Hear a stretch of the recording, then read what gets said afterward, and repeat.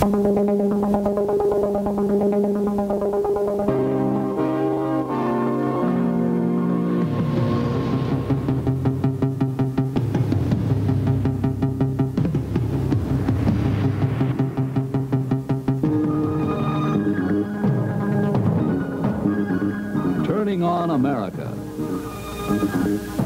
Job in which the electric utility industry has been involved for a lot of highly successful years. But over these years, something has been happening. The persistent ticking of history's clock has been measuring one of our century's most alarming dilemmas. While we expect America's electrical needs to continue to grow more vast, its energy resources are becoming more vulnerable.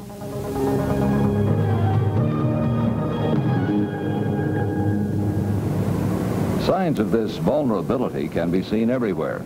The news media, for example, report on OPEC, the Environmental Protection Agency, the Nuclear Regulatory Commission, and acid rain.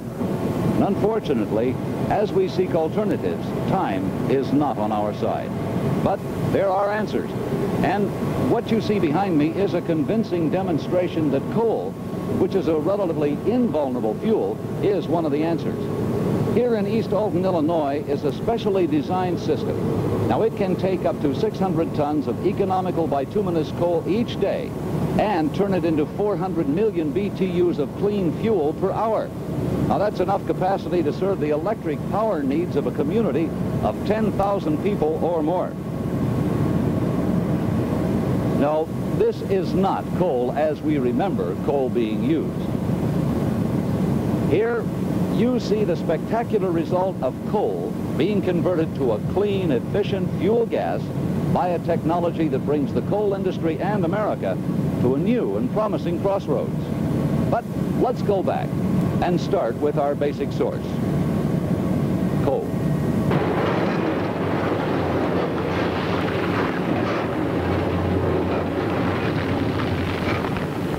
The United States has more than 25% of the world's recoverable coal reserves, enough to feed our nation's power plants for the next 200 years. The challenge has been how to convert this coal effectively into energy. For much of this coal, past effort has gone into burning the coal and then cleaning the stack gas. But recent research has shown that a bold new alternative lies in cleaning the coal before it's burned. For example, by gasification. That's what Allis Chalmers Corporation is doing here at the Illinois Power Company's Wood River Power Plant in East Alton. It has built the nation's first large-scale coal gasification facility to operate in an electric utility environment. In 1970, capitalizing on its extensive rotary kiln experience, Allis Chalmers started research and development work on a new and proprietary coal gasification program, which is now called the KILnGAS system. In recent years, it's had technical and financial help from the state of Illinois, 12 investor-owned utilities, and the Electric Power Research Institute, along with appropriate consultants. The installation at East Alton shows that the KILnGAS system can provide a viable alternative to pollution control scrubbers with conventional coal-fired boilers, or to natural gas and oil-fired combustion turbines. And yet, for all of the KILnGAS advances, the basic concept at work here is relatively simple. To explain, let's use an analogy from the family kitchen. If you were to attach a couple of taps to a pressure cooker, you could, in principle, make your own coal gas. Hook one tap to a whistling tea kettle so you can inject steam. Then attach a blower to the other tap so you can add just the right amount of air. Now put in the coal and start cooking. Allis Chalmers put principle into practice here at East Alton. This plant is gasifying high-sulfur Illinois number 6 coal to produce a clean, low BTU fuel, which is fired in one of the Illinois Power Company generating units. The heart of this new system is a ported rotary kiln used as the gasifier.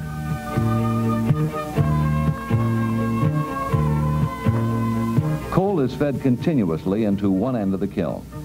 Air and steam are introduced through the ports near the other. They provide the oxygen needed for combustion and the oxygen and hydrogen which combine with carbon from the coal to form the product gas. But let's back up a bit. Remembering the earlier analogy, you might think of this gasifier as a sort of stirred pressure cooker. To understand what really happens inside the kiln, think of coal as an amazingly complex mixture of chemical compounds. As it's heated, several of these compounds are driven off as vapors, leaving char, which is mainly carbon. With the addition of air and steam, combustion and gasification reactions take place on the surface of this hot char. With proper control of these additives, oxygen from the air reacts with just enough of the coal to provide the heat required to keep the process going. The gasification reaction occurs when the carbon and steam molecules combine. The steam, which of course is water vapor, breaks down to hydrogen and oxygen. Then these elements ultimately combine with the carbon to form the principal working components of low BTU gas. The char contains a small amount of material which will not take part in these reactions. This material, mainly silicon and calcium oxides, is the common ash that is discharged from the end of the gasifier. Of course, a chemist would give you a lot more detail, but this is the essence of the story.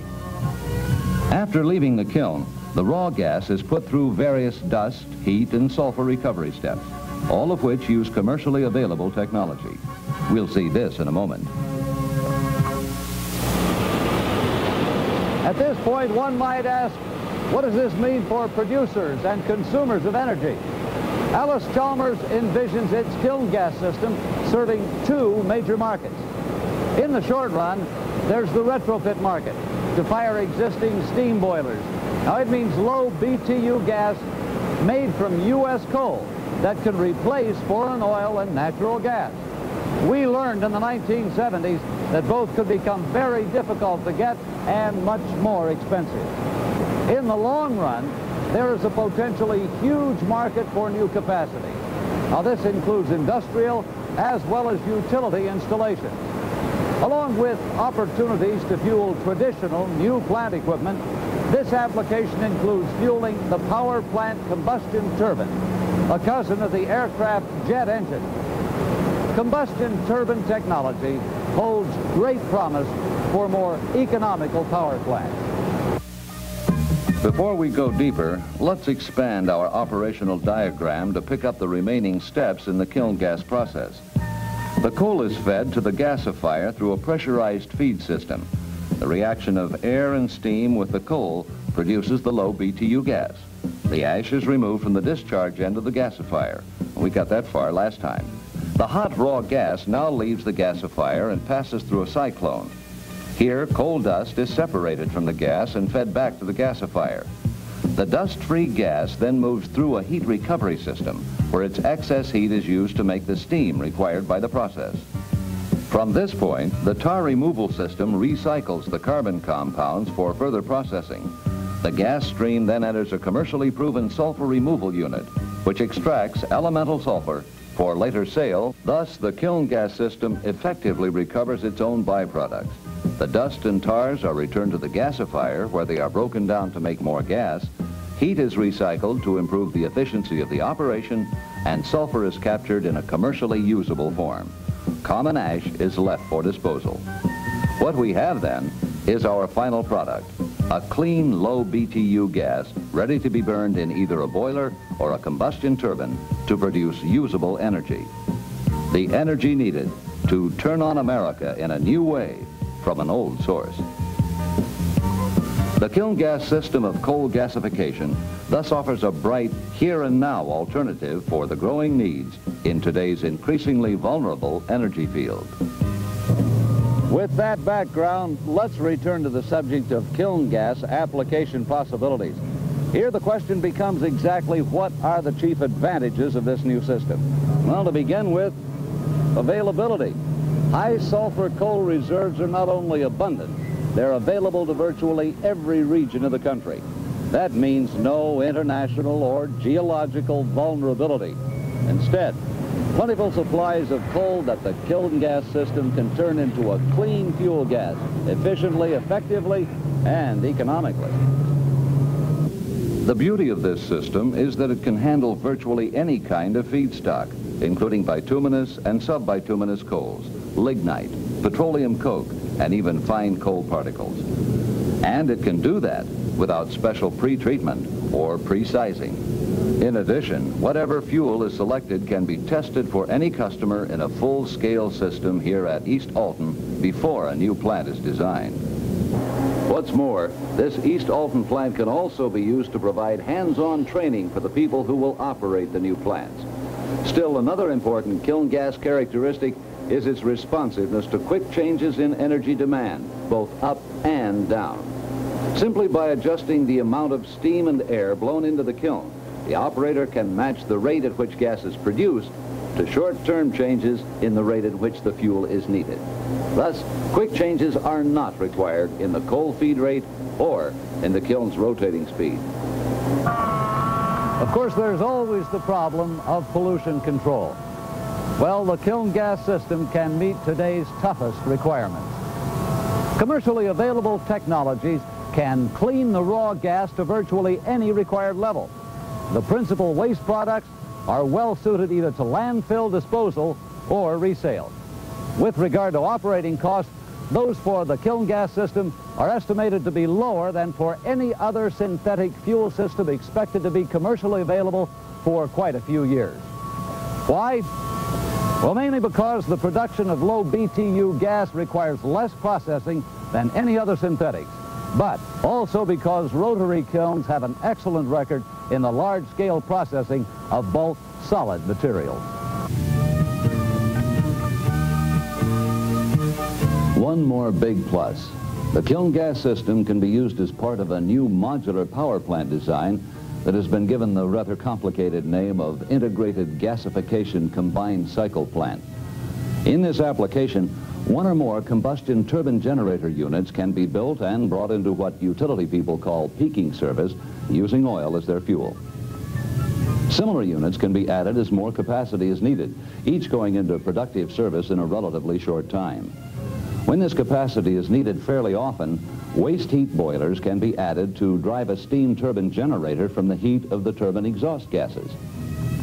Finally, a KILnGAS plant would be built on the same site so that the entire generating station could be converted from oil to coal from U.S. mines. This modular construction has two advantages. First, the owner doesn't have to build a large plant when only a little more capacity is needed. Second, if a large new plant is needed quickly, a modular plant can be built in about half the time it takes to build a conventional coal-fired plant these days. Now that feature, of course, could save a lot of construction financing costs. Either way, the modular configuration can help utilities hold the line on rising electric power costs, a real advantage to everyone. The KILnGAS operation here at East Alton is only the first of what is expected to be an increasingly important alternative, both for today's retrofits and tomorrow's new capacity needs. In fact, opportunities for such a system in the years ahead appear tremendous, and that would use a lot of coal. America's needs for electricity will continue to grow, as likely will some of the vulnerabilities of its energy industries.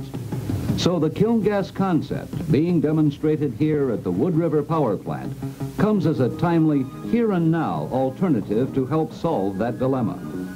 It's one alternative that finally takes full advantage of America's enormous, readily available, low-cost coal reserves. Allis Chalmers heard history's clock ticking. In response, it took a promising principle and put it into productive practice. In a true partnership achievement, the KILnGAS system is a successful breakthrough in the search for new energy solutions for our nation's producers and consumers.